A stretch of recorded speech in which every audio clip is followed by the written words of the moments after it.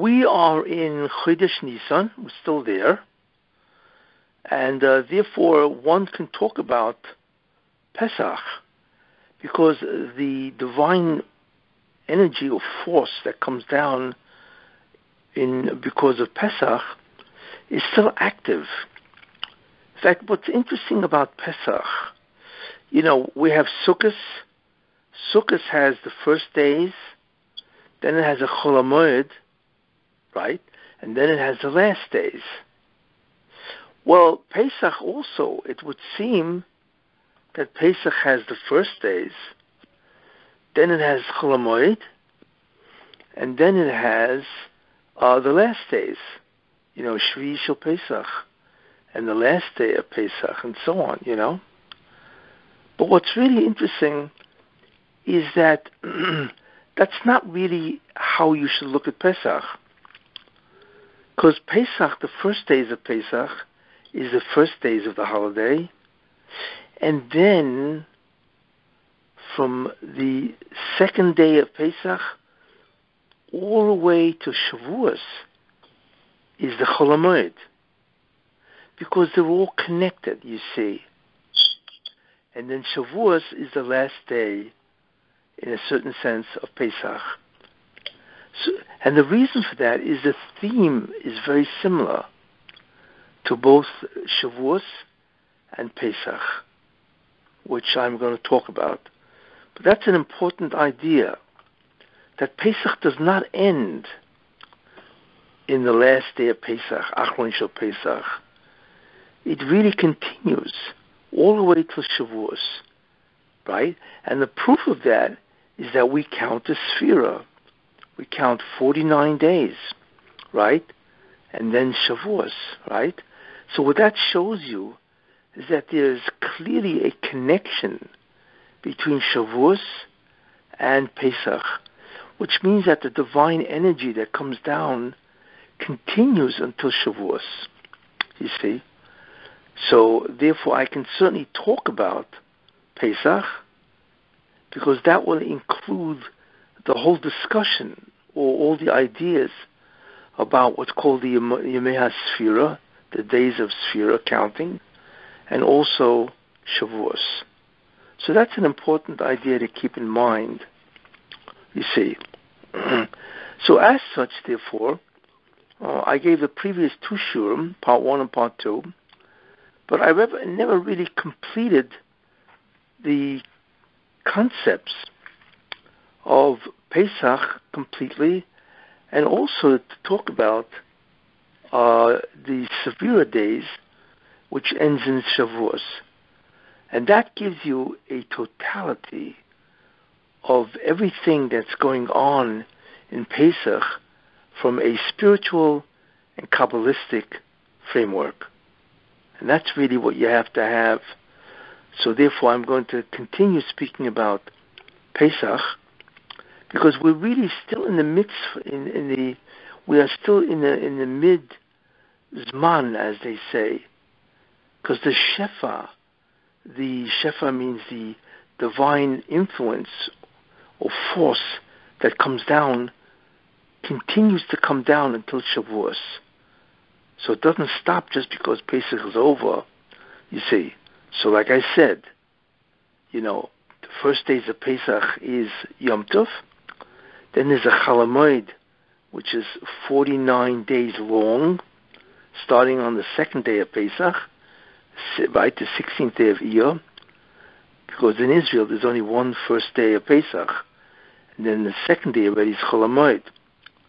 And that continues, this concept of Cholamoid continues all the way to Shavuos. And on Shavuos, which is the 50th day, right, that's when you have Kabbalah Satorah, and that is the termination of the Shefa.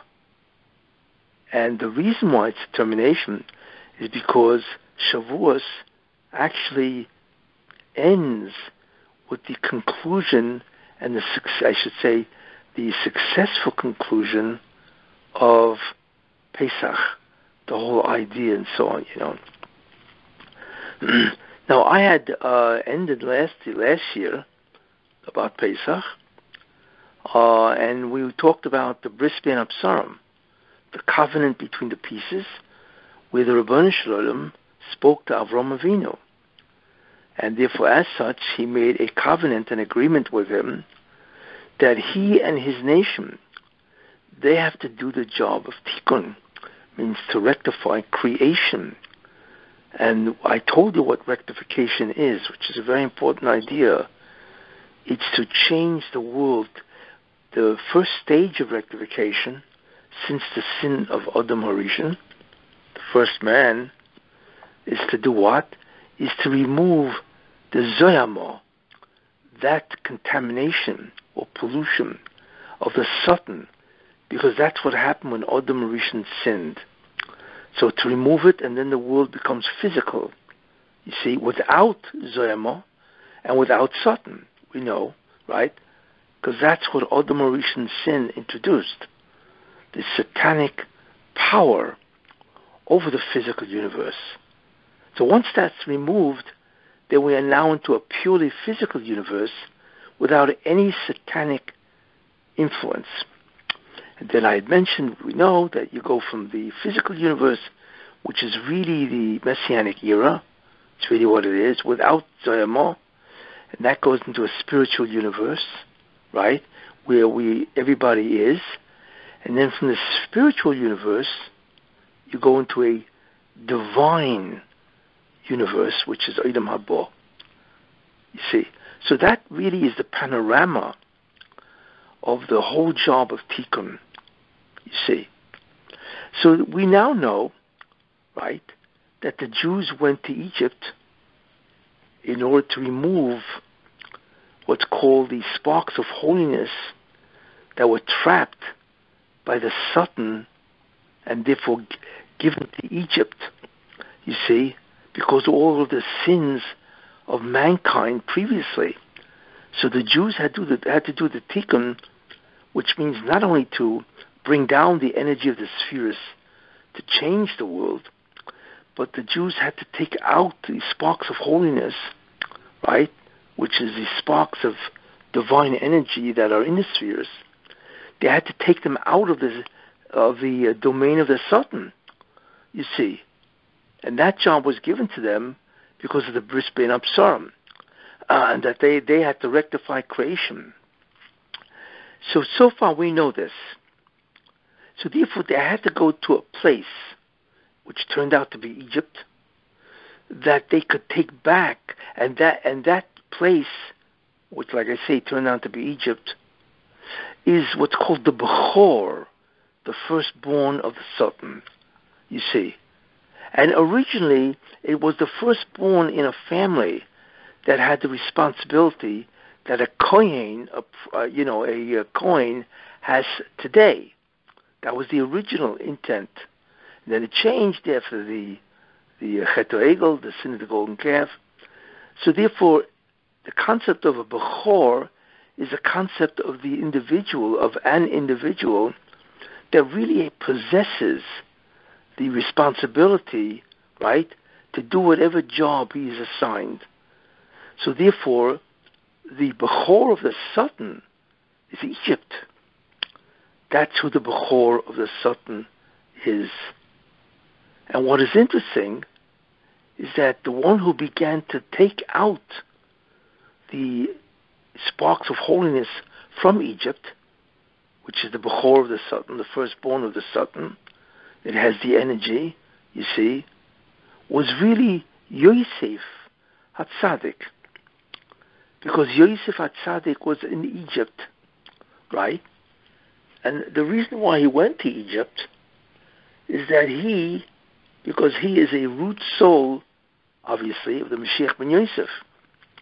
So his job really is to begin taking out a tremendous quantity of the Nitzotze Kedusha, the sparks of holiness from the land of Egypt. Because this is really what the real story is. You see. Uh, so he did that. He was tested for 13 years. He was in prison in Egypt, and he had to withstand all the, trem- the tremendous temptations that Egypt offered. Because Egypt was a land steeped in hashchosa, in corruption, uh, and, and so on, especially zimo, which is sexual perversion. But in any case, and he had to stay there for 13 years and withstand the, the, the influence of Egypt. And if he did that, what would happen is that he would take out a great deal, not all, but a great deal of the sparks of holiness, right, that nurtured Egypt because it nurtured the Satan. Because remember, the Satan eats from that. That's where he derives his power. so this, therefore, is what Yosef Hatzadik did. And his main test, which I'm going to elaborate not now, but later on, um, whatever, his main his main uh, task, and therefore the main test, was the story of he and Potiphar's wife, that he withstood her temptations, and he was successful, and therefore he tremendously depleted the sparks of holiness in Egypt. In fact, that is eventually what got him out of prison. Because if you remember, he interpreted the dream of Paroi that there would be seven years of plenty, then seven years of famine, a terrible famine, you see. And the reason why, so Pharaoh had that dream, of course, and and uh, Yosef was called to interpret that dream. Uh, I'm not going through the whole story, and that's what got him out of prison that he interpreted the dream. But what is interesting in that story, you see, is why did Pare have that dream? Because that was going to be the future, that Egypt would have to suffer a tremendous uh, uh, uh, fast or, uh, you know, uh, an absence of food and so on. Why did Pare have that dream? Because what Yosef had succeeded at that point is taking out the tremendous amount of sparks of holiness, not all of it, but a great deal from Egypt. That meant that the Satan is starving, because that's how he lives. That's how he gains his power, his energy. But wait a minute.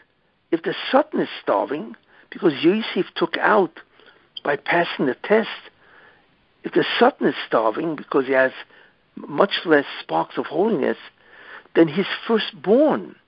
Because those these guys, Egypt, right, are agents of the Satan. So therefore they also starve. You see? So Paro, who is the king of Egypt, right, would dream about something that affected his kingdom. Because he represents that, because he's the king of Egypt. You see? So Paro had a dream that there would be plenty and then famine, right? Because Yosef had succeeded in de- depleting an enormous amount of food from Egypt and creating a famine. So it comes out that Yosef created the famine, you see, that forced Paro to dream, that eventually they tapped Yosef to interpret it, and then he got out. He was the one who created the famine. See, that's really what it represents on a mystical level. You see. Now, what is also fascinating is Yosef now appears in front of Paroi, right? Interprets the dream. And then Paroi says something very strange. He says, Well, I see that you're tremendously wise, right? So I'm going to make you the second in command the highest position in Egypt after me, the Grand Vizier. And you are now going to be the Grand Vizier. Uh, so the question that we always ask is why? Yosef basically was a prisoner that was released. Okay, so he's released, right? And you give him a reward because he's a consultant. He's a dream interpreter. You don't make a guy like that Grand Vizier because he interpreted the dream. So why did Pari make Yosef Hatzadik the Grand Vizier? That makes no sense. But the answer is a very profound concept, you see, because this world must reflect the balance between the Satan and the Jews. Who has the majority of the sparks of holiness? And whoever has it has the power in, in, in this world. But since Yosef took out so much sparks of holiness, he severely diminished and depleted, you see, the sparks of holiness in Egypt. So therefore, the balance has to reflect that. So therefore, Yosef took out so much that vis-a-vis Egypt, he now became the Grand Vizier. You see? Because most of the sparks were now in the hands of the Jews. You see, see how it works? So that's a barometer. What happened to Yosef is the barometer that he had succeeded to an incredible extent of depleting Egypt and therefore creating the famine. So much so that he became the Grand Vizier. You see, what do we see from this? That Yosef did an incredible job. And he did this by remaining righteous. Because that's how the Jews do it. If a Jew remains righteous and he defies the temptation, then he succeeds in taking out what's called the Nitzotze Kedusha, the sparks of holiness. You see, he actually takes it out and it's given over, it is restored back into the hands of Kedusha, the side of Kedusha. You see? And that's what Yosef did. But that's also why the Jews went to Egypt, because they had to take out the rest of the sparks. Because Yosef, as we will see, as a half a patriarch, which we will see later, he was able to take out an enormous amount. But what is fascinating is it wasn't all of it. The Jews now had to go to Egypt and take out the rest. It's a very important concept. That's why they went to Egypt. So, in the beginning, they went to Egypt, and their job was to remain Gerim, aliens, which means don't assimilate in Egypt. But they did. So therefore, God used a second me- mechanism of tikkun, which is suffering. You see? And if you recall, that's what he said to Avram Avinu. They will be there hundreds of years, right? They'll be Gerim, right? Which means they will be aliens, which means they will not assimilate. But what happens if they do assimilate, right? So they'll be Gerim first, and then Va'avodim, they will serve them. See, that's the beginning of the service, the slavery. And if they continue assimilating, which they did, then they will suffer. You see, if you eat Ve'inu Oisam, then Egypt will cause them to suffer. So therefore, suffering is the major mechanism. It is the third and last mechanism that can remove the sparks of holiness, right, to do the tikkun. And uh, this is eventually what happened in Egypt, where the Jews remained in the beginning. They were able to remain aliens, you see. Then they fell into Avodah Zarah, right?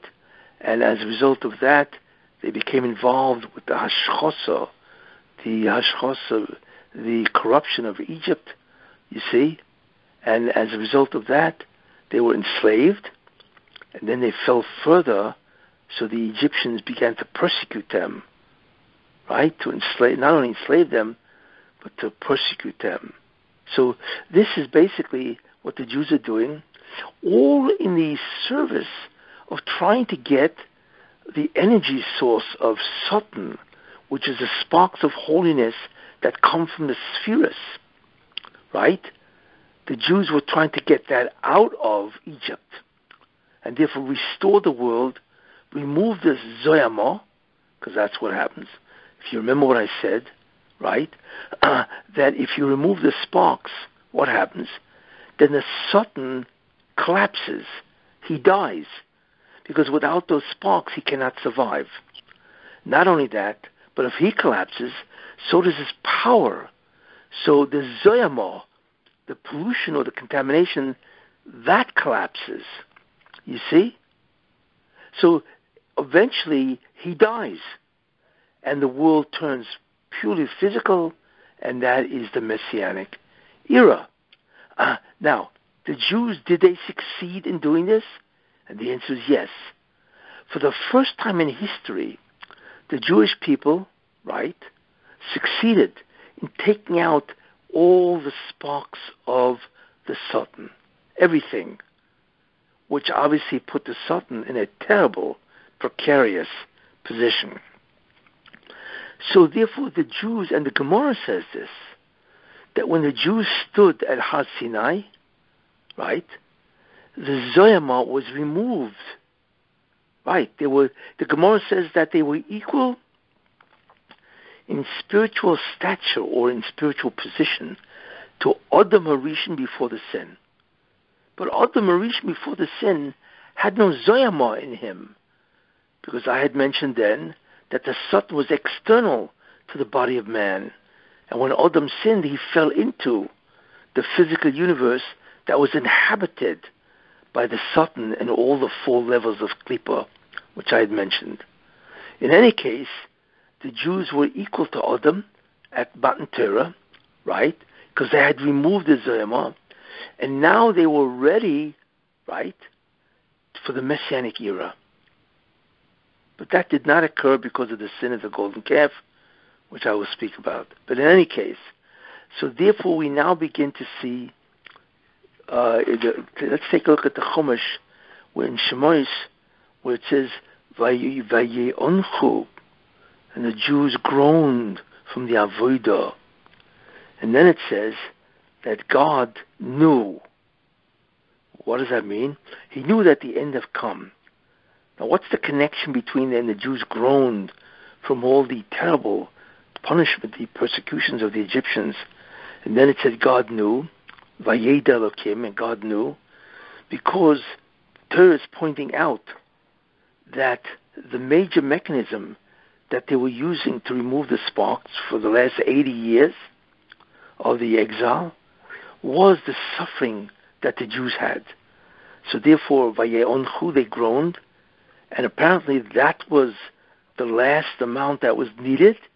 And then by Yed Elohim, God knew the time had come to take the Jews out because the Jews were now complete. They were complete with the, the mechanism of suffering, and therefore he would now take them out.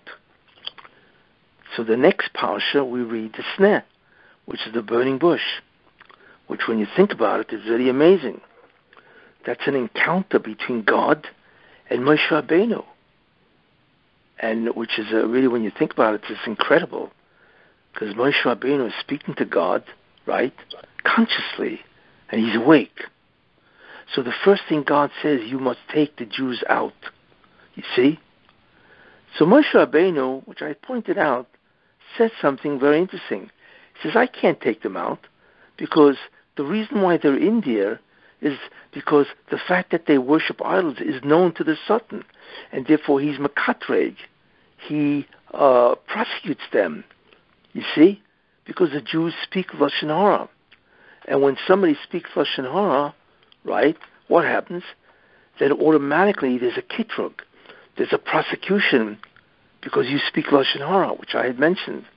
You see, uh, because it's a measure for measure. You speak lashon hara, you condemn, so therefore the Satan has the ability to condemn you, which of course is a prosecution. So Moshe Rabbeinu said to God, but they speak Lashon Hara, and therefore the fact that they worship idols, right, is known to the Satan. So then how in the world can you take them out, since there's a tremendous amount of kitrugim? So God said, no, they do not speak Lashon Hara anymore, and therefore this is concealed from the Satan, you see. And as a result of that, they can now go out. In fact, I told you that the Medrash says three times in the Medrash that the reason why the Jews got out of Egypt, right, is because they stopped speaking Lashon Hara. And that's why God gave Moshe Rabbeinu a sign. He said, put your hand inside your coat, and you put it in, take it out. It became tsuras, you see, which a person gets because of Lashon Hara. And then God said, take it again, put it in, which he did, took it out, and it was cured. And that was the sign to Moshe Rabbeinu that the Jews stopped speaking Lashon Hara. because the Taras left. In any case, then the Rebbe said to Moshe, I want you to take the mate, the staff of God, right? And what is the staff of God? The staff of God, right? Take it and throw it down. And he did, and it became a snake. Then the Rebbe told him, bend down, take the, sta- the snake in your hand, and lo and behold, it became it became a staff. What was that? because the Rebbeinu was telling us. Now we know that the power source of the Jewish people are the sparks of holiness, and also it's the power source of the Satan. Both of us, we and the Satan, vie for the same power source. You see, both of us have the same power source. So what the Bansham did is he had Moshe throw the mater, right, which represents the power source, and he became the Satan. So what the Bansham was telling Moshe Rabbeinu is that the power source gives rise to the Satan, and therefore your staff, which represents the sparks, has now turned into Nachash, the snake, you see, because that's how the snake survives. But then the Rebbe said, but it is now different. Bend down, take it, and the staff turned back, right? I should say the snake turned back into the staff, and that indicated to Moshe that there is no longer sparks in the hands of the Satan. It's all back in the hands of the Jewish people. And that's incredible. That means there is no more sparks in Egypt. And therefore, basically, the Satan is powerless, and Egypt is now powerless, you see. And therefore, you now can take them out. That's what the Bershom was telling Moshe Rabbeinu. You see, that was the sign of the staff and so on. So that's what Moshe Rabbeinu did, right? He goes to Paroi, and he throws down the staff, right? And the staff uh, becomes a snake, to indicate to Paroi that you have no more power because your being, the Satan, is now powerless, and therefore you fin- you're finished. You see. Now, what does that mean? What was therefore going to happen? Well, what was going to happen is that since the power source of the Satan, which is all his sparks, is now back in the hands of the spheres, then the spheres, ten of them, are now energized, right? Because they now have tremendous addition of sparks, and they will destroy Egypt. The ten spheres made into physicality, that is the ten makas, you see. And there's a direct parallel between the makas, which are the the um, the uh, plates and the ten spheres are connected conceptually. So that's really what it is, and that's Mida Keneged Mida. The Jews had removed the, the power source of the Satan, and they were restored to the spheres, and these ten spheres were now going to become physical, or their physical manifestation, and that would destroy Egypt. And that's a measure for measure. Isn't that interesting? And that's why there are four ideas which are parallel. The first idea which is parallel, right, is the where it says Asura Mamoris, with ten sayings God created the world in Pirkei Avos. What are those ten forces, or rather ten say, uh, sayings? Those are the ten spheres, and those are identical, right, to the uh, spheres and those are identical to the ten makas, because the ten spheres is what destroyed the Egypt, Egypt in a, in a physical form. And because of that, the Jews were given a tremendous reward, which is the Ten Commandments. You see, they're all ten. The ten Mamoras, which are the ten sayings, are really identical to the ten spheres, which is identical to the ten makas, which is identical to the ten dibros, the Aseret dibros. And there's an exact conceptual connection between all of them. Any case, So therefore, this is what the Baruch is telling him by the sneh. You see, and that's exactly what Moshe Rabbeinu does. In any case, so therefore Moshe begins the process, you see, of bringing the energy of the spheres to destroy Egypt. Now, what's interesting is the Egyptians didn't really know in the beginning how is Moshe Rabbeinu pulling this off. You see, they didn't understand that. So initially, what they thought is that they're doing it with the power of Kishuf. You know, it says nine kabin of the ten that were given to the world, nine measures were given to Egypt. Kishuf, magic, comes from the power of the Satan to alter physical reality. So I'm not going to go into the, what, what, exactly how it works, but Kishuf really is energized by the Satan, and the, the Egyptians were very good at it, very good. You see, uh, so initially they thought, well, that's really the only real source of magic, and they knew this magic. So they looked at Moshe. How in the world is Moshe? How did Moshe make the Nile River turn into blood? Could you believe the Nile River turned into blood? Real blood, not colored water. So they thought that, you know, they know the power of Kishuf, magic, and how to get the Satan to alter the physical world, because that's really what magic is, you see. And Moshe Rabbeinu knows. The only thing is that Moshe Rabbeinu, he's a full professor of magic, so he's much greater than they are in magic, because they thought that the mechanism that they use is identical to the mechanism that Moshe Rabbeinu used. You see, until they got to lice, and the rule is that magic, if it comes from the Satan, cannot work on anything that's less in size than a barley grain. It can't work, you see. But wait a minute, lice is smaller than a barley grain. So they realized something which was shocking, that the power source of Moshe Rabbeinu has nothing to do with the Satan. And it's not kishuf, you see, the way they use it. You see? So then they realized that the power source of Moshe Rabbeinu is God, is divine. So therefore they said, Etzba Elokimhi, this is the finger of God. They realized that Moshe Rabbeinu somehow knows and has access to this incredible power source. And that's how he's doing it. And they have no idea how to do that, you see?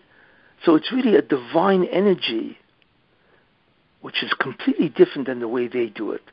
Because Moshe Rabbeinu was able to produce lice which is smaller than barley grain, which they could not do. And that's really a very important idea um, that they realized. And what is interesting also is it says Etzba Kimhi, that it is the power source of God. You see, the finger of God. And if you ask yourself, why do we have ten fingers? Because God has ten fingers. His fingers are the spheres, and there are ten of them. And since man is a model of divinity, then he imitates divinity.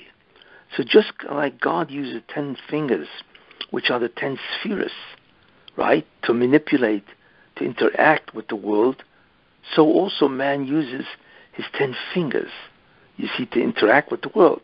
And therefore, they call um, the finger of God, you see, because they recognize that his mechanism, right, is the, um, the power source of God himself, you see. Now, what happened, therefore, is that the firstborn of Egypt, right, who are they? the, Egypt is the firstborn of the Satan. But since, and the reason why, because they have all the sparks of holiness more than the other nations. But since now the Jews, but now since the Jews now have the power source, the sparks of holiness, right? then they are called the Bechor. And that's really what happened. God changed, you see, the title of firstborn. He changed it, and God says, Bechuri, my firstborn, because they now have all the sparks of holiness, right? They are now my firstborn, right? And as a result of that, I'm taking away the status of a firstborn from Egypt because basically what it is, right, is that Egypt, like I said, being the fact that it has the sparks, you see, automatically uh, they lose their status of firstborn. It is now transferred to the Jewish people. And that's the meaning of the the Makkos, the uh, the uh, Makkos Bechoros, where God killed them, because what He really did is He indicated that the firstborn is now the Jewish people, and the Egyptians have lost their status as per firstborn.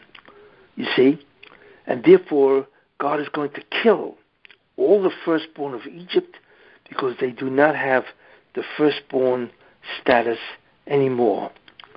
You see, so that's why you have the Makkos Bechoros. In any case, you had the ten spheres that metamorphosized or became a physical expression and destroyed Egypt. That's a very important concept. Now, what Moshe Rabbeinu did, which is very interesting, is Moshe Rabbeinu um, destroyed the four klippas. Remember what I said. You see, that if a person destroys the Satan by taking away the sparks of holiness, then automatically the Zoyama is destroyed. But we know that there are four levels of Zoyama. If you recall, I went through that.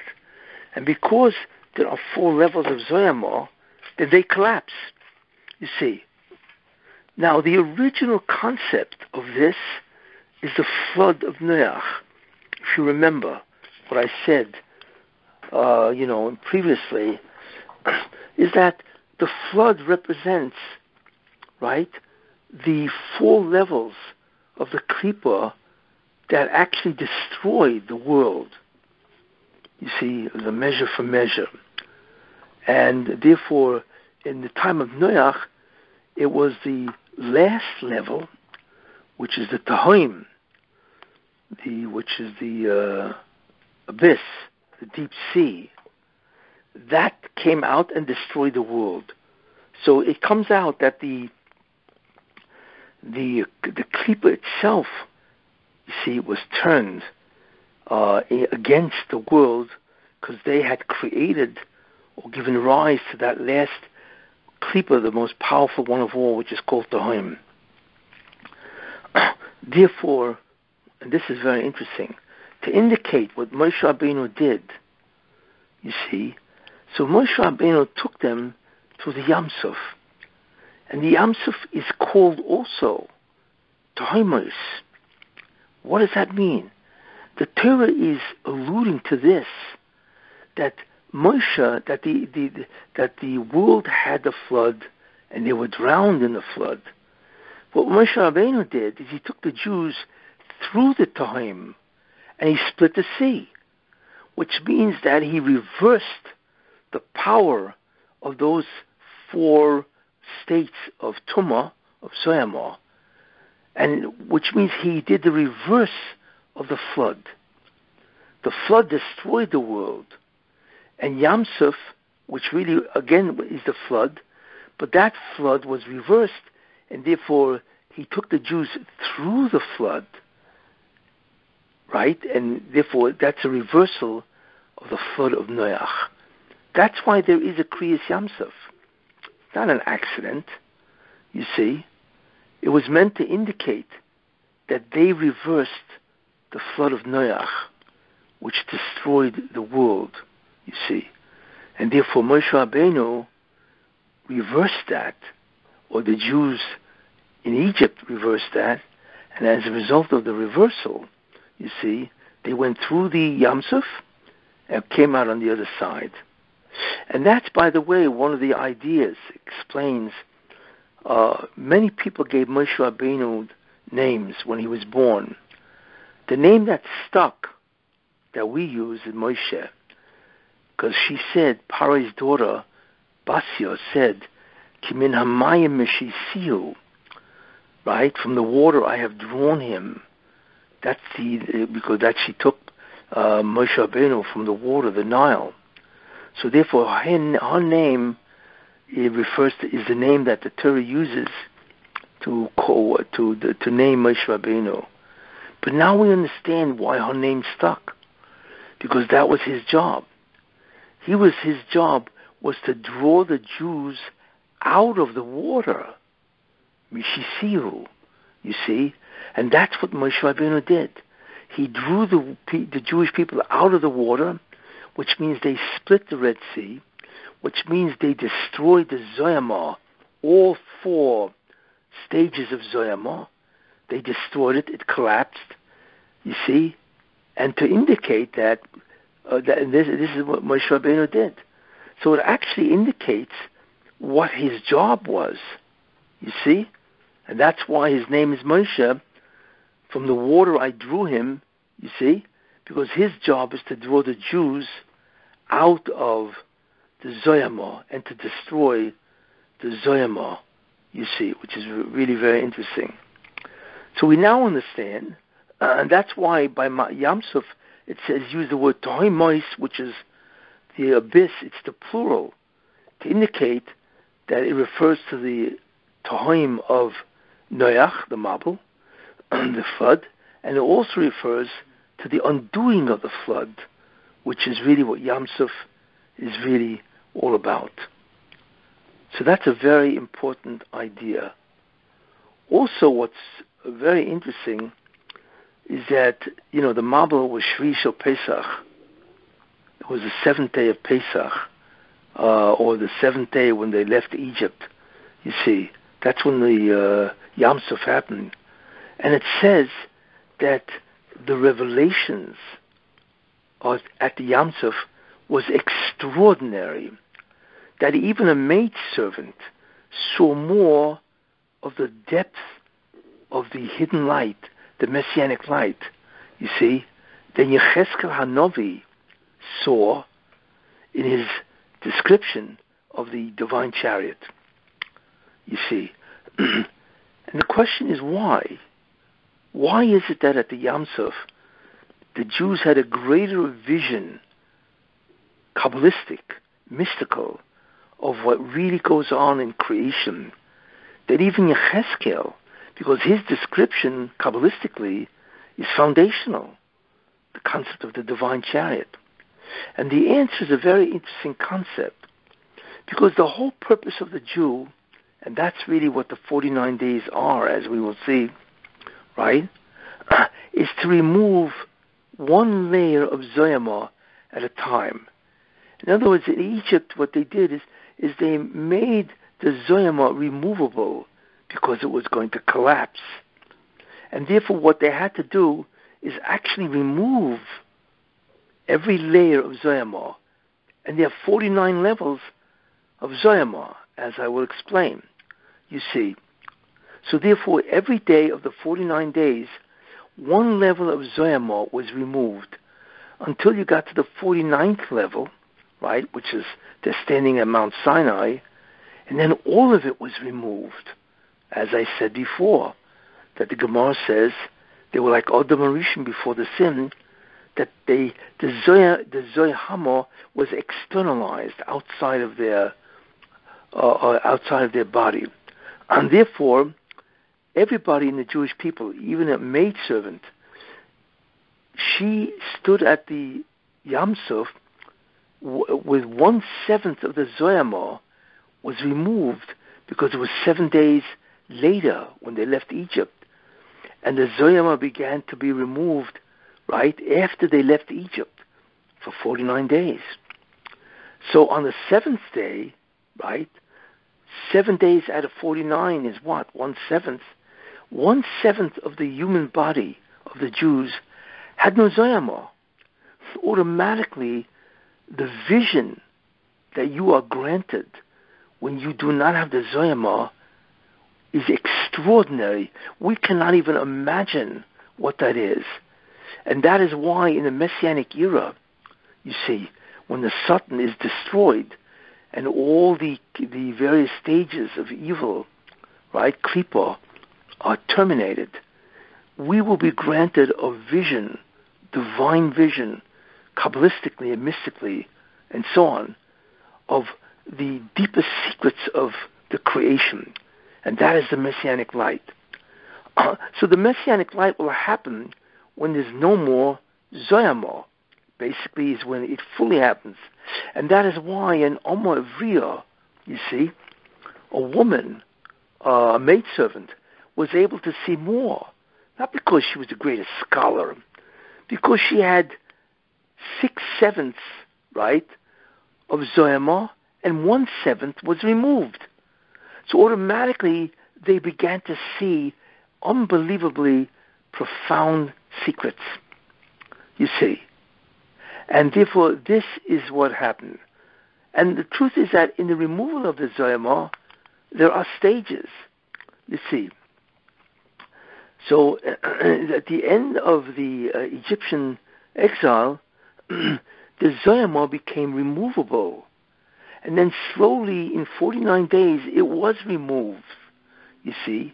So, like I said, when they stood at Har Sinai, right, it was external to the human body. We don't know what the Jews were when they stood at Sinai because they did not have the Zoyama that we have. You see, they were, actually, you can say, they were not even human in that sense.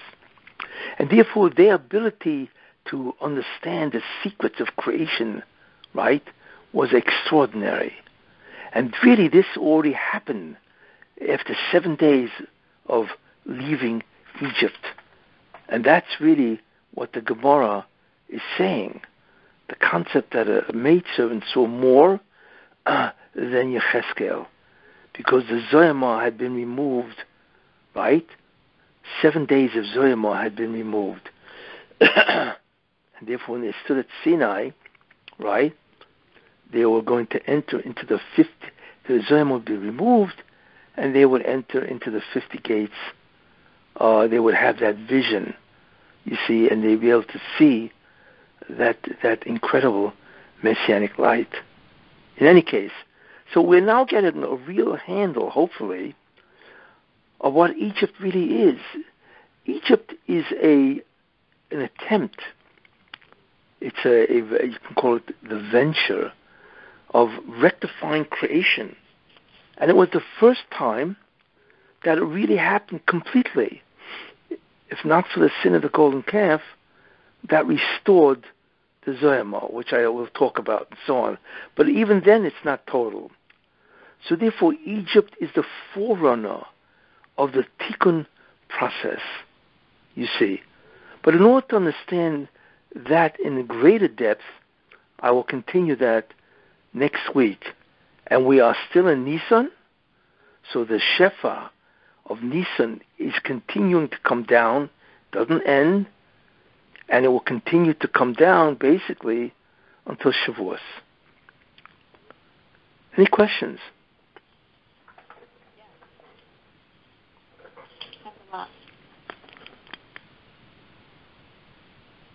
Okay.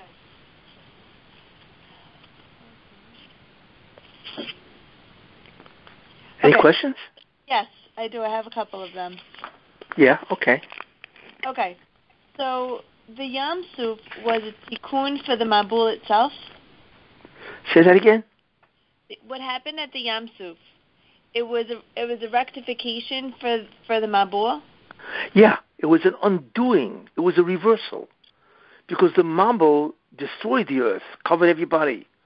But the Yam Suf was split, which means that the Jews split the sea and went through it and came up to the land. And that symbolically is a reversal of the Yams of the Mabul.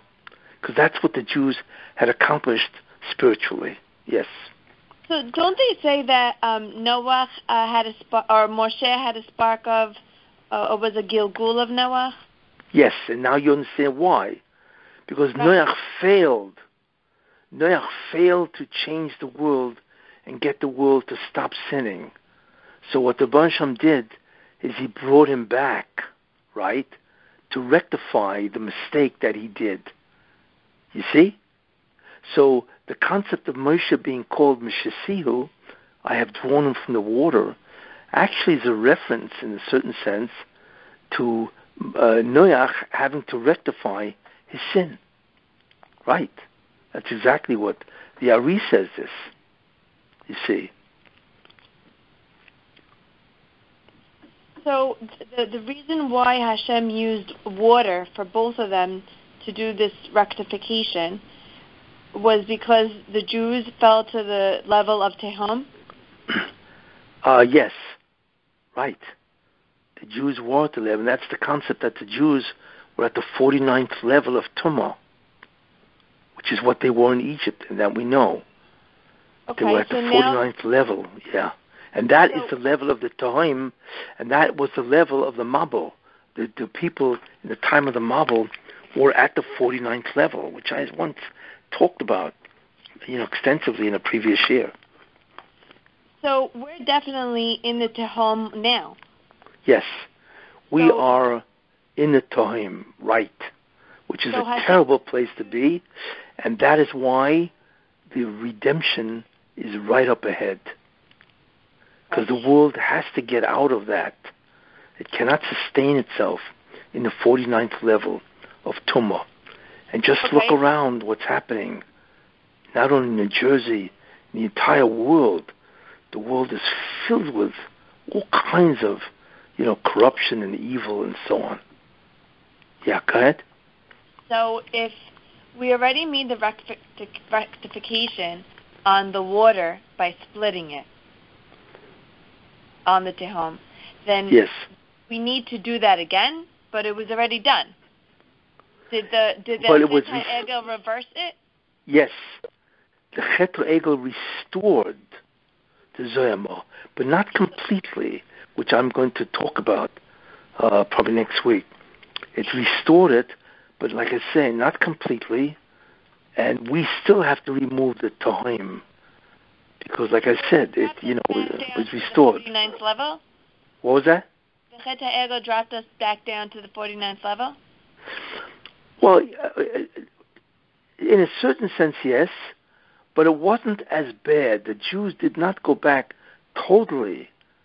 In other words, they went 49th level, but the question is, how much in each level is the quantity?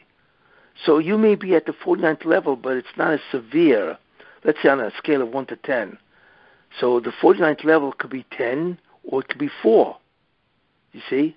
So there is a degree of quantity even in the 49th level.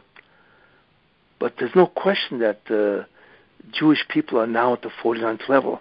I mean, just take a look at the uh, the incredible opposition to religion in Israel and the Amorat, the Amhoratzes, the incredible ignorance of Jews throughout the world. It's just beyond belief that uh, almost for the first time in history, you know, Jewish people have almost no connection to their Torah. You know, I mean, there is a group, obviously, uh, the religious, there's a lot of learning going on. But I gave a shiur when I talked about Reb Chaim Kanievsky, the difference, you know, that they, they may learn a lot, but there's not, they don't know. This is a great problem. but in any case, we are certainly at the 49th level of evil. you see. So then Hashem needs to do something with the water again for us to make that rectification? Well, you know, that's I mean it's a, it's an interesting idea. So I mean the problem is that remember, you know, in those days by Egypt, it was one country, and all the Jews were in that one country. So basically, it would mean, right, that the Jews have to leave that country. But the problem today is that the Jews are all over the planet. You see, so uh, it, it, it's not the Tahoim is not going to be a place of water. Because what are they? What what's the bunch going to do? Split the Atlantic Ocean? The Jews are all over the world, so what would that gain? You see? The real thing is you have to gather all the Jews, you know what I mean? Hello? Yeah, so so you don't so you don't you don't know obviously we don't know how, but it, We don't. No, we don't. We don't know how the Shem is going to do that. it doesn't Is say it- like Ramchal doesn't talk about how the Tehom has to, is intertwined with our generation now and how it would happen. No. No, he talks about it in very general terms. But the exact description, as they call it, blow by blow description of what will happen, nobody really knows. It's like the Rambam writes that we don't really know um, a great deal of how the Geula, the redemption, will happen is hidden from us. All we know is that it will happen, and in general terms, we can have an understanding, like I mentioned, with the windows and the gates and so on, you know. But how you redeem the Jews when the Jews are all over the world, and that the Jews are in the Memtesh Shari Tumah, right? And the world is in the Memtesh Shari Tumah. The world itself is steeped in tremendous amount of evil. Nobody really knows how it's going to happen. You see, uh, except uh, uh, there are general terms. You see, I I have uh, spoken about this, you know, extensively. What I think is going to happen. You see, and I believe what's going to happen. I, I bring the pasuk down in Nitzavim, where God says, "I am going to gather, even if you are outcasts, be at the ends of heaven." Right from there, Misham, I will gather you, Yikabetzcha, which means that God will go into the the the, the Klipa, the nation of evil, right? He's going to go into all of that and pull the Jews out. And then it says that he's going to bring them v'yikochecho, right? And he's going to bring the Jews to God, which means that he's going to teach them the Torah. Because God is not going to bring a Mashiach to a nation that is steeped in tumah. It's an incredible embarrassment, you see. Now, we don't know how that's going to be either, you see. And then he's going to bring them to Eretz Yisrael. In fact, next week I'm going to talk about the uh, why there are four cups, right? But really, what the uh, the four expressions of redemption, which parallels the four cups, and how those four levels, or five actually, because there are five expressions of redemption, actually mirrors what's going to happen today, right? Because Egypt is a model of the redemption itself, the process, and therefore what happened in Egypt is going to happen now. You see? But so really, like I say, you know, it's going to happen, but we don't know exactly how. I suspect that the the Beis Hamikdash, the third temple, which the Gemara clearly says will come down before Mashiach ben David, which is uh, astounding, right? That somehow that will play a part in gathering the Jews. In other words, it could happen that all of a sudden there's a third temple, right? With all its glory, that is sitting on the Har Habayis. What would the world think? I mean, the world will go crazy. It will be front page news in every uh, social site in the world. I mean, it's incredible. And the whole world would change as a result of that. And I'm sure all the Jews will now seek God. Because once they see the third temple, and that third temple isn't just a temple, it's going to be filled with miracles. You know, who's not going to want to go to Israel to see that temple? Look, there's going to be a massive shake-up of this world. But the exact details of that is unknown. And and they say that the the the the seas are going to split again. Is that true? Well, that's his idea. What what what does it mean that the sea splits? If the Jews are all around the world, what does it mean the seas are going to split? You know. So that's not clear. How is Yam Suf going to be, rec- uh, you know, uh, duplicated again? like I say, in those days it was Egypt, so you could have a split. You could split the the, the uh, sea. Uh, but today the Jews are all over the world. Oh, so what's the Russian going to do? Split all the oceans? Not likely. So it's not clear how that will manifest the uh, the uh, the uh, reversal of the Memtes Shari Tumah. But there will be something that does mirror that, you know, and so on.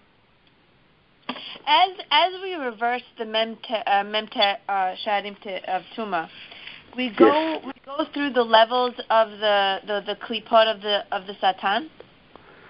Uh, yes, like because all of and then you go Yeah. right to the every Right. every level you go backwards, then choshech, Yes. then bohu, then yes, because you have to remember the manifestation of the Zoyama are those four levels. That's how it comes out into the world. So therefore, if the Zoyama is collapsing, those four levels will collapse. You see? So do we know how Moshe did it? Like Do we know what? tohu? Do we know how Moshe did it? Like what what what parallels tohu? What parallels bohu? Like how did Moshe reverse those? no, we don't really know. No. The the four stages of redemption, the four stages of uh, satanic environment will collapse. But that's automatic once the Zoyama is gone, and then the Satan is destroyed. And this is You all see. the job of the of the Mashiach ben Yosef to reverse the the. Well, the, the actual dis- well the actual destruction of the Satan is the job of Mashiach ben David. So he does the last the last one. Yes, he will destroy evil and change the world into a physical world that is a manifestation of unbelievable holiness. In other words, we're going to uh, enter Gan Eden. This world in the me- me- Messianic era, Mashiach ben David, is really Gan Eden. That's really what it is.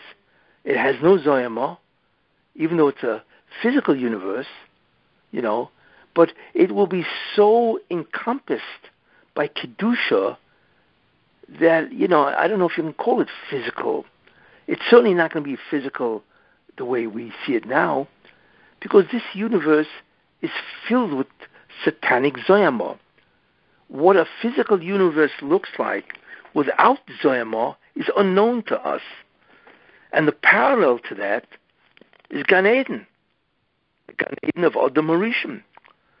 That was the only time the world has ever been devoid of the Zoyama except by Matan Torah. So that was a Gan Eden. See? So when we So that- go from the physical to the spiritual, what does that spiritual level consist of? I know it's the world of the angels, but Yes. if it's not the messianic era and it's not Olam Haba, what is it technically? And also, what happens to the angels once we get to their level? Do they disappear? Do they diminish? No. No, Malachim remain. But they remain. Their job?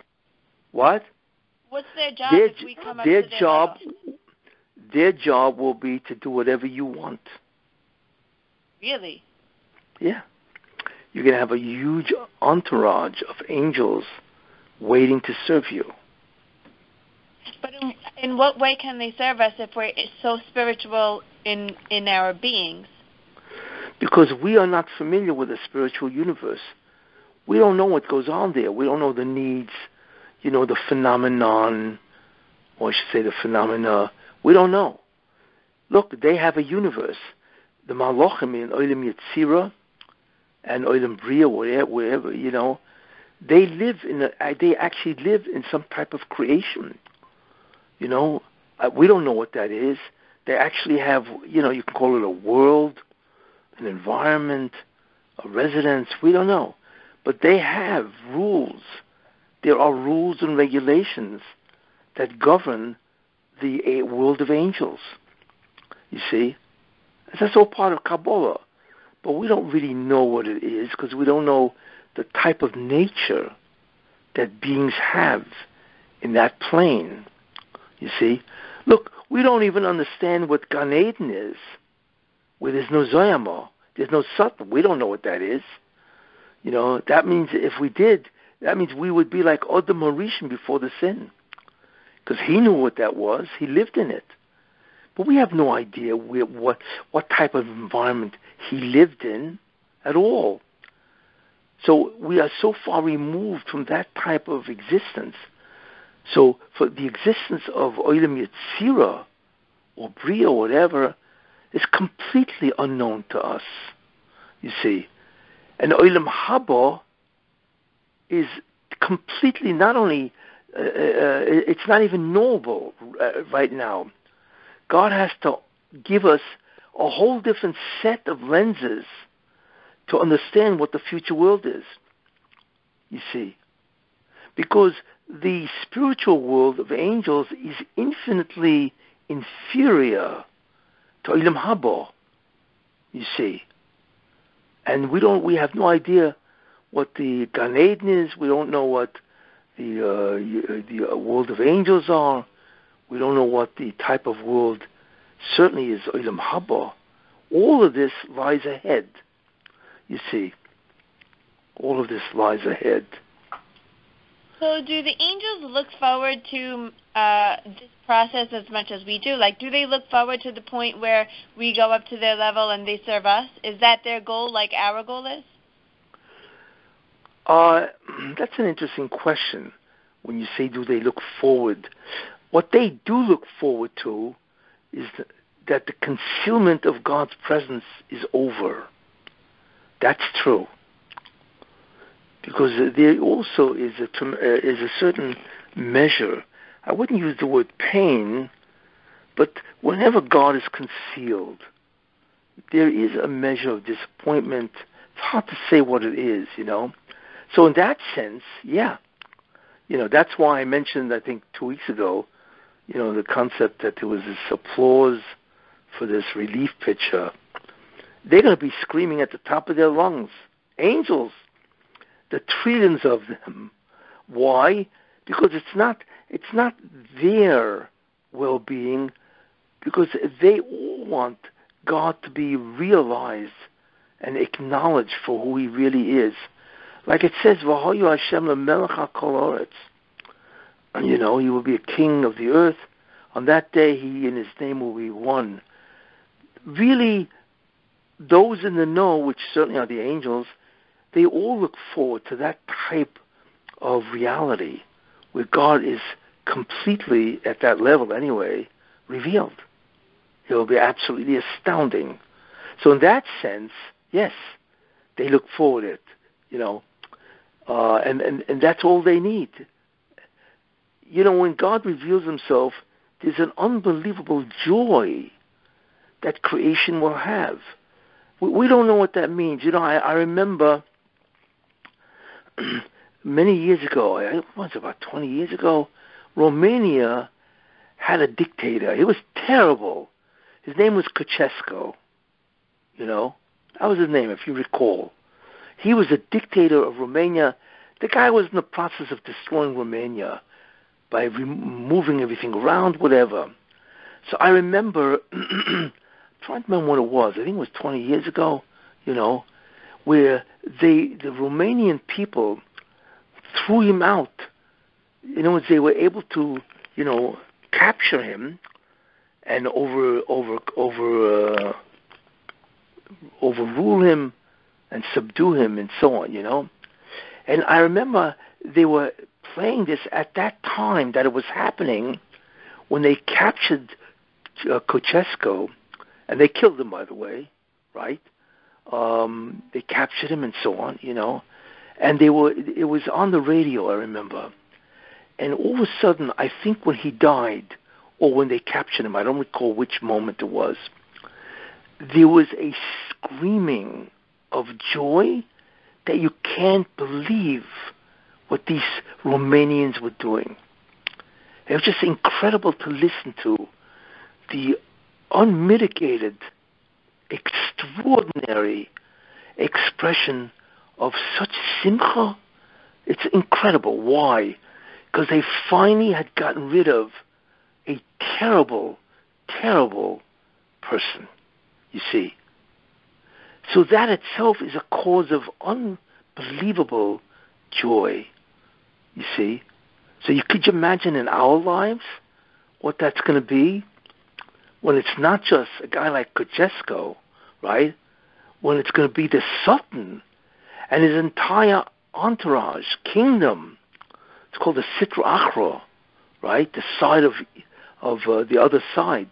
When that will be destroyed for eternity, could you believe the joy? Because the Satan and all his minions, they are responsible for untold sadness, misery, right? Depression and pain and suffering. Could you imagine when that is gone for eternity? So we will yet witness that. We will yet witness the simcha of the entire creation when the Satan is destroyed. You see. Okay, I have another question. So yes. when you were speaking about Yosef, you were saying how when um, he resisted the temptation of Potiphar's wife, uh, yes. he was able to restore the sparks of holiness in that place in Egypt. Yes.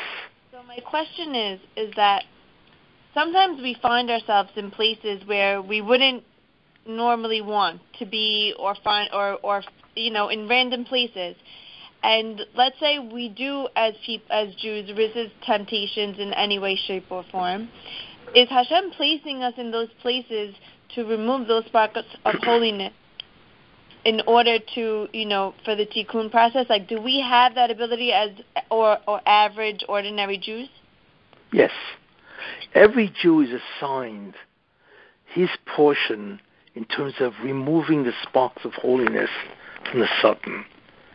Every Jew has his portion. and when a Jew resists temptation of sinning, you know, then he actually transfers those sparks to the side of holiness. So the answer is yes. The difference between us and Yosef Hatzadik is Yosef had the neshama, he had the soul of an almost, it's called a chatzi av. He was half a patriarch. So he had this, it's like Avram, Yitzchak, and Yaakov, but a smaller version. So he had this incredible capacity that if he would resist, there was an enormous transfer of sparks. Because the greater his neshama, then the greater the effect of his resisting temptation is. So when he did that, and actually I'm going to talk about that later when I talk about Esav and Yosef, Tzaddik, and so on, what the real temptation was, and so on, was extraordinary. It's, not, it's nothing that we can imagine, and that's why he was rewarded to be. You know, that's why he was. He could you imagine a guy going from prison, which is the lowest social class in Egypt, and the next day it wasn't even, it was on the same day. The pasuk that describes Yosef is one pasuk. That they took him out, they bathed him, clothed him, and he stood in front of Paroi. Right? This all happened within three hours. So in three hours, he went from being the lowest social class of Egypt to Grand Vizier. So could you imagine the amount of nitzoitzis that he took out of Egypt? And the greatest proof is the, is the famine. You know, that famine really, symbolically, was the famine that the Satan had because he had so few nitzoitzis left. You see? And he did that. That's the difference between him and us. But we all have that ability, each on our own level and our own assignment. You see? We have so that. Would, would um, our personal tikkun correlate to really uh, us completing of taking out the holy sparks that we needed to in our lifetime. Yes, and restoring it to the side of the spheres. Then eventually, all of that will be lowered or uh, projected into this world and change the world. That's really what, what it's all about, which I had talked about previously and so on. Yes, that's really our job. That was the agreement of the Bris Bein Habsarim, the covenant or the agreement that God made with Avram Avinu at Har Sinai, uh, excuse me, at the, wherever it was, uh, and so on. You see, that's our job. Our job, we, you know what we really are? We are repairmen, or as they say today, we are repair people or persons, right? we have to repair the existential state of creation. Right now, it is a state that's terrible. God is concealed, right? There's Zoyama all over the place, and mankind keeps doing evil. It's a terrible place. You see, our job is to change it, change it back into its pristine glory, which is the time of Adam Rishon before the sin, and that's the Messianic era. But that's not even our job. That's really our job. But then after that, God takes over, and He's the one who advances the process, where it now goes from a physical universe to a spiritual. So we really only have, if you think about it, only a small measure of that process. That's all we have. You know, and even that's so tough. Is to change, is to get rid of the zoyama, right? And that's it. That is our process to come back to the level of Odom before the sin. After that, God does the rest. So our job is to initiate, is to start, you know, the ongoing process of change. And each one of us has that job. You see? Anybody who is Jewish has that job. They are now given whatever assignment they have to do, even if they become if they become Gerim, you know, and so on, you know. But we all have that job, right? So, so, you know, we always say how um, once um, the Mashiach comes and we get m- uh, more clarity on the revelation of like the of the creation, and we get more Torah secrets, all that, and it goes yes. according. Every person goes according to their merits of how much they're going to be able to see and the, and their closeness to God. Did that happen at the Yam Suf? Like you said, like the maid servants were able to see uh, as much as Yehezkel. Was did they have yes. levels at that yeah, time the, as well? Yeah, what's important to know is that knowing the secrets of God is not an intellectual experience. It's an experience of emotion. It means the idea is now wrapped together with its feeling. It's not that you know something. You know something, right? And you feel something with the information. It's like a simultaneous joy with a concept together, which happens to us every once in a while. All of a sudden, you're struggling with something, and all of a sudden, you realize what the answer is. And that is associated together with tremendous happiness. So that's really what you experience. It's not just an intellectual idea. You know something. No. You experience it, both an idea and also in the world of feelings. You see. So everyone will get different levels of feelings? Yeah, exactly. Depending on the level, of knowledge. Yes, the, depending on the level of knowledge that you will be privy to. Yes. And each one is given based on how much he accomplished you see. But there is a minimum level, you see. There is a level that everybody will experience by the mere fact that he is on a much higher level. There's what's called the minimum. And then within that minimum, there's the extra measure that you get because of your avodah, because of your service, you see. That's why it's so that's why it's so important in, while we're all alive to strive for excellence in the Avodah because we want to have as much as God is giving. You don't want to shortchange yourself. You see. So, is it possible to get little snippets of that feelings in this lifetime? Yes, it is. It is. If you do the avodah right, if you learn Torah right, you can experience it. Yes. God has opened up the door that we can experience these things at a, obviously a very small level. But it is possible to experience. Look, even Shabbos is an experience of the divine, which we feel when Shabbos enters. You know? The problem is that we are so immersed in the 49 levels of Tumah that that blocks us, you see. It's a tremendous blockage. Look, there's a great deal to talk about that, you know.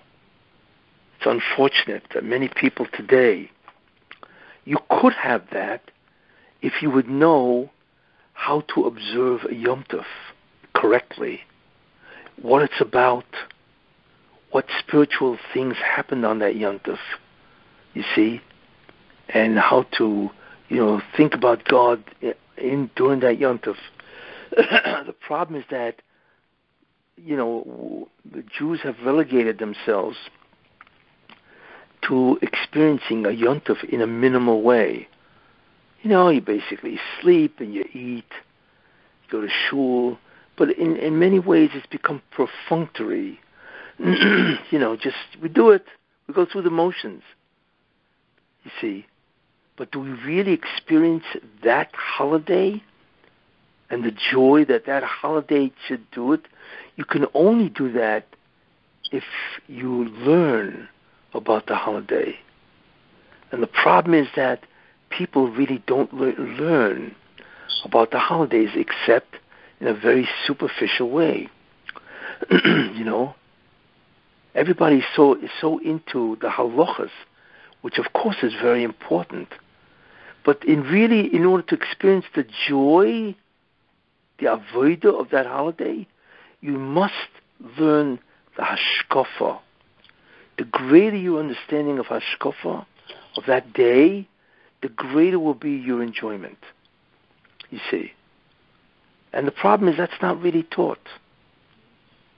You so see. How do you, how do you navigate uh, you know, when you see so many people not tapping into it, and then like sometimes like I, I see it, let's say, and then I'll feel bad for them. Like later on, when when Hashem does reveal Himself, that they will get only that minimum of it. Like, how do you navigate that? Because you probably, as you knew this information for so long, and you see it always. So uh, how do you how do you like what to do like I yes, I pray for them, I send them love, and I try to like send that energy to them. But like, besides for that, what else could a person do to help? well, look at that. Children? So you know, the I mean, the idea of that, the real idea of that is that, you know, that's why I I give these hashkafa shiurim.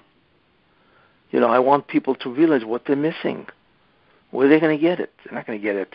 Most people, uh, even if they hear some hashkafa, it's more of a sermon than it is a yediyah, a knowledge. You know, uh, that's part of the problem. You know, uh, is to teach people the facts, the information, the knowledge of what these things are. You know, and that's really the only way. Is that as long as people what? Is that a part of the Satan's hold on us? Like Oh yeah, of course. Oh, yeah. He doesn't want anybody experiencing the real spiritual joy of a holiday. He doesn't want that. Sure.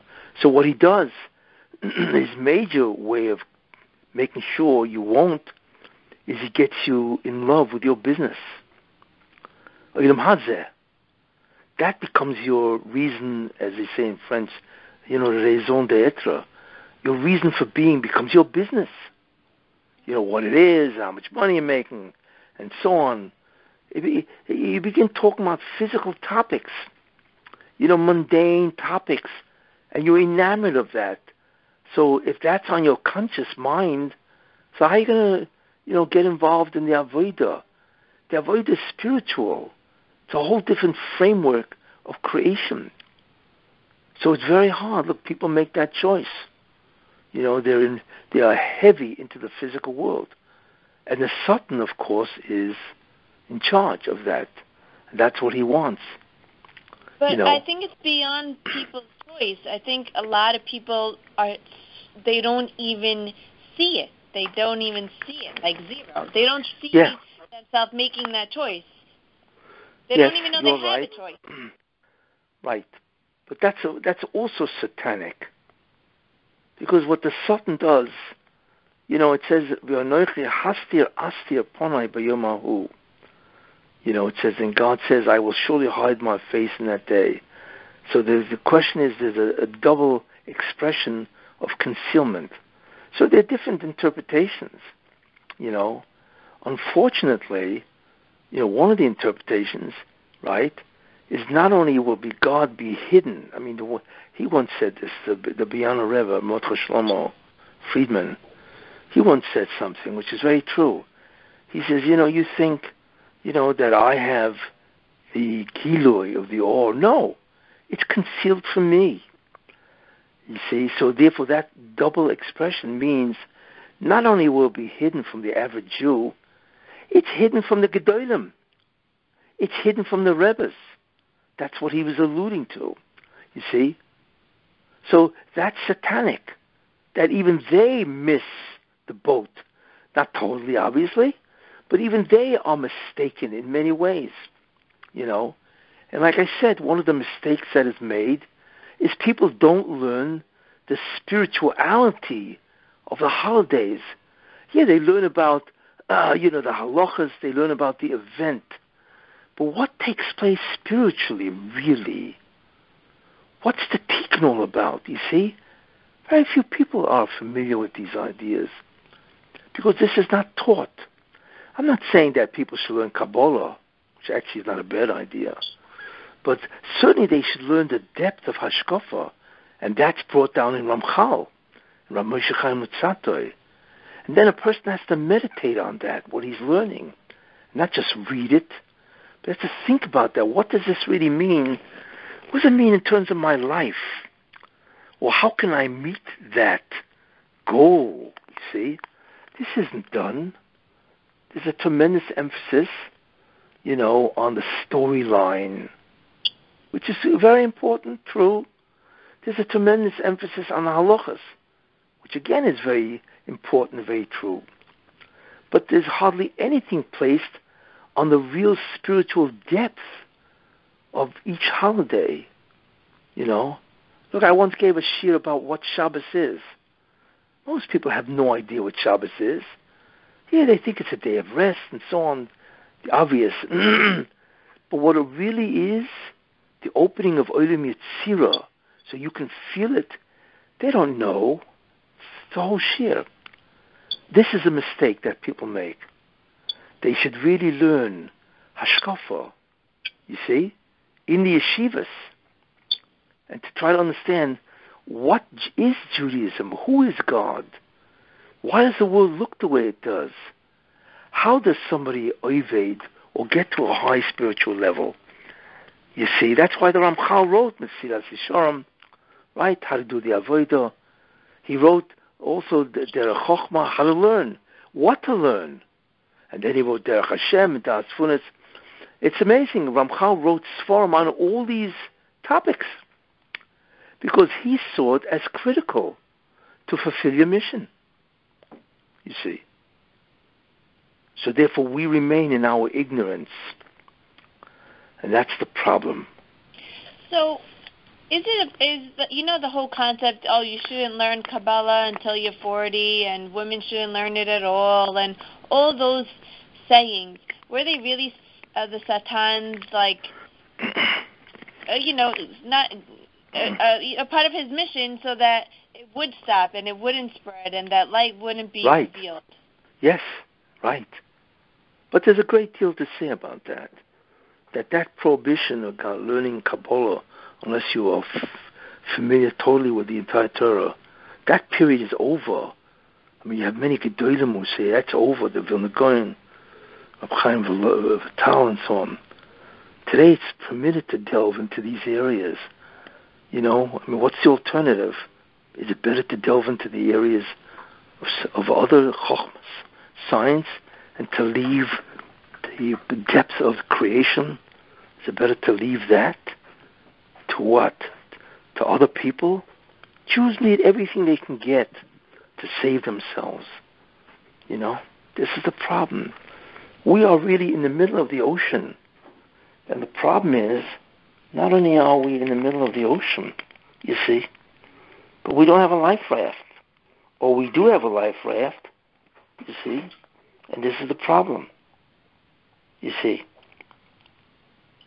In any case, um, yeah. Um, Rachel wants to know about what you think about all the destruction that they were doing in the Har Habayit over the holiday. The well, like I said, you know, as we get closer and closer, you know, as we get closer and closer, uh, we wonder what's, uh, you know, there are barometers that indicate that the Klipa, the Satan, is trying to engage more and more in opposition because he realizes his days are numbered. You see. So that's like I mentioned by Kever Yosef. That's really what's going on, you know. But, but they're destroying their own holy site, so it's like they're fighting themselves. Yeah, well, that's what the Arabs always do. They always shoot themselves in the leg, right? You know. But how is Hashem letting anyway? How is what? she she says, how does Hashem allow that to happen where Yosef Hatzadik is resting? No, and also where Hashem rests. Oh, where Hashem rests uh, on the Har Habayit. That's Kodesh HaKodashim, really. Because he justifies the Satan by Kitrugim. He's able to justify it in a court in heaven that he has a right to do this because the Jews are sinning. That's that's how he always gets his way, you see. You know what I mean? Why does Hashem give him so much power? Anyway, because it's not he doesn't have any power. We give him the power. His power comes completely from the Jewish people, from nothing else. And that's what he's hoping. That's the whole concept of sparks of holiness. When we sin, we give him those sparks. And that's his power. You see? So, in that sense, we give him his power. He doesn't have an independent power. You see?